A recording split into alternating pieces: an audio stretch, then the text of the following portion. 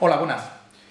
Ahora vamos a ver una de las estrategias de los Heihong más sorpresivos que vamos a entender dentro de lo que son las metodologías, podríamos decir, de, tretas combativas que se van a ver dentro de la sección de Bujutsu, eh, que se estudia específicamente dentro de la eh, graduación de Chuden de la escuela.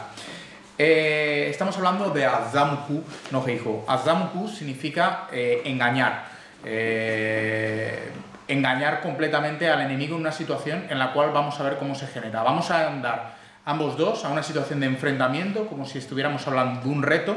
Ambos dos nos vamos a situar uno enfrente del otro y vamos a dar una vuelta con respecto a nosotros como si nosotros cediéramos, como si abandonáramos el reto. Y eso lo va a aprovechar el enemigo para intentar sacar la katana y cortarnos. Desde ahí es donde se va a plantear el engaño. Para verlo, en términos prácticos, que es donde mejor se va a entender el concepto, la clave va a estar principalmente en cómo realmente va a existir la acción específicamente eh, para que el engaño surta efecto. Vamos a acercarnos al oponente como si quisiéramos un reto. Por tanto, desde aquí mismo nos encontramos como si fuéramos ya prácticamente en una situación prácticamente eh, decisiva, última. Desde ahí vamos ligeramente a deshacernos y vamos a darnos la vuelta. Desde aquí el momento va a sacar sacamos nosotros cortando. Por ejemplo, yo con un como he en este caso, aunque se podrían realizar todo tipo de nukis. Mismamente, por ejemplo, cuando viéramos estamos aquí, me doy la vuelta, mismo podríamos realizarlo con un Gyakute Nuki Tsuki, Ushiro Tsuki, como es en este caso.